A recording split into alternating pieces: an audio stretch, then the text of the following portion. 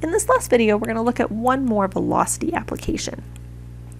Here we're told that a data collection probe is dropped from a stationary balloon and it falls with velocity in meters per second given by v of t equals 9.8 t neglecting air resistance.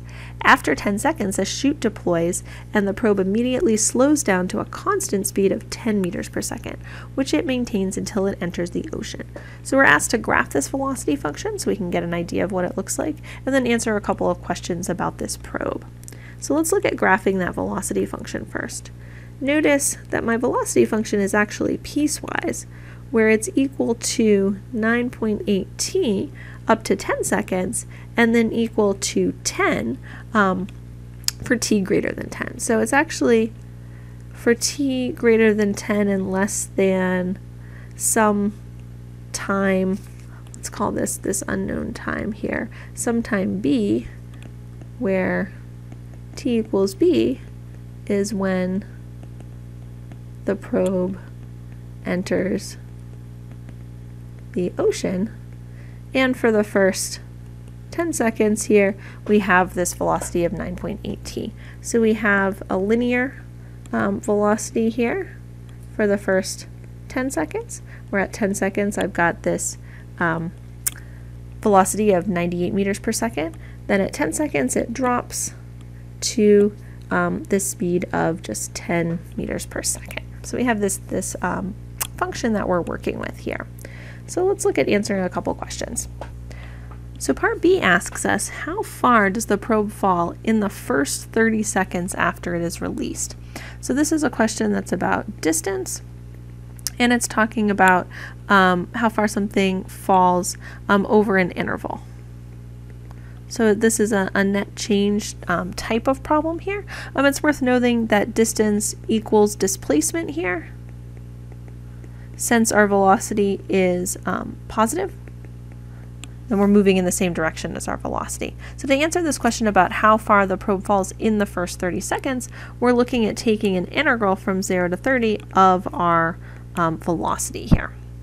So we can do this with um, some geometry of the, the problem. Now that we have the graph right in front of us, we're looking at finding um, the area of a triangle plus the area of this this rectangle, or we can look at writing out what this um, this integral is in terms of the function. So we can look at it both ways. So notice to integrate my velocity function, because it's piecewise, I'd have to split this integral up into the integral from 0 to 10 of 9.8 t dt plus the integral from 10 to 30 of 10 um, dt here. So the integral from 0 to 10 of 9.8t would be 9.8t squared over 2 um, evaluated from 0 to 10. And then I'd have 10t here evaluated from 10 to um, 30. So notice that I could also, I can plug these in and, and evaluate the arithmetic, but I can also see that the integral from 0 to 10 here, um, well, that's going to be equal to um, the area of a triangle, which will be 1 half base um, times height. So that will also be equal to exactly what we have above. It's just a little quicker to do that um, arithmetic. The area then of this piece here, okay, well this is a rectangle with height 10. If I'm going up to um, 30 seconds here, this would be um, 10 times 30 minus 10 or times 20. So we're looking at 980 divided by 2, which is 490 plus 200. So we have um, this total distance that this probe um, is going to fall in the first 30 seconds of 690 meters. Okay, so let's look at answering our last question here. So we found that over the first 30 seconds, this probe fell 690 meters.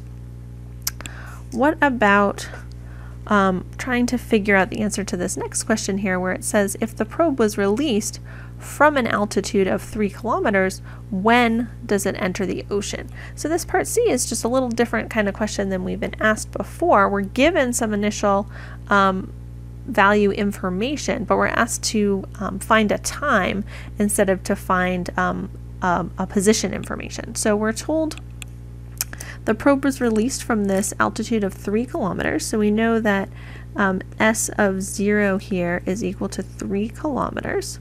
Notice that everything else in this problem is in terms of meters, so we're going to need to convert that 3 kilometers in terms of meters since our, our velocity is in terms of meters per second that we've been working with. So we've got this initial um, height here of 3,000 meters. So that means if my, my probe here is released from an altitude of 3,000 meters, it has to travel 3,000 meters um, in order to enter the ocean. So we know it was still traveling at 30 seconds, so we're trying to find um, this unknown time b here when it will actually enter the ocean. So we know that over the time interval from 0 to b, our probe must be traveling um, 3,000 um, meters here. So to rephrase this question about if it was released from this altitude of 3 kilometers, when does it enter the ocean? We want to know how long does it take the probe to travel 3,000 meters.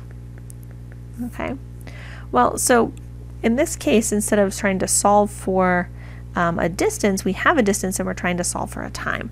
So we have the equation that 3,000 meters will be the, the distance traveled over the um, integral from 0 up to some time b of v of t.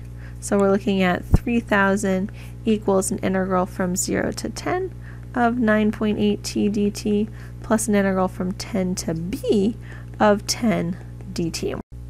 And we're trying to solve for the time t equals b. So we have 3,000 here equals our integral from 0 to 10 of 9.8 t dt, which we know from earlier is equal to 490, plus this integral from 10 to b of 10 dt, which will be 10 times b minus 10. So now subtracting 490 from both sides, we have, um, let's see, 2510 here is equal to 10 times b minus 10. Divide both sides by 10. We have 251 equals b minus 10, or b is equal to 261.